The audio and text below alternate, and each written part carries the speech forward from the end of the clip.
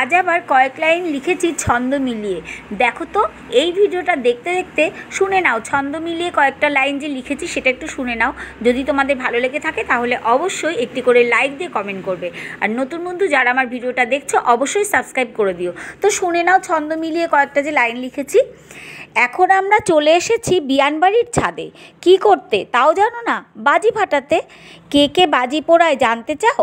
বাবা নাচে, পুচুবুড়ি আছে, সাথে আছে সোনামাও শব্দবাজি? ও বাবা, একদমই নয়। সোনা মাঝে শব্দবাজিতে ভীষণ পায় ভয়।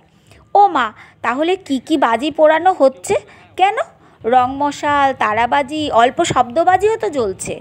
আচ্ছা তাহলে ছাদে আমি কি করছিলাম? কি আবার?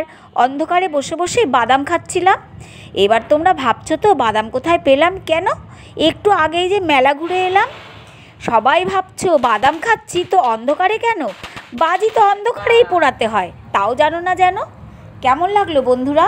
আমার আজকের এই ছোট্ট ছড়া, যদি তোমাদের ভালো লেগে থাকে তাহলে অবশ্যই আরও একবার বলছি সাবস্ক্রাইব করে অল বাটনটা প্রেস করে দিও, ঠিক আছে? যাতে করে আমার সমস্ত ভিডিও প্রথম তোমাদের কাছে পৌঁছে যায়। চলো, শুভরাত্রি, সবাই ভালো থেকো।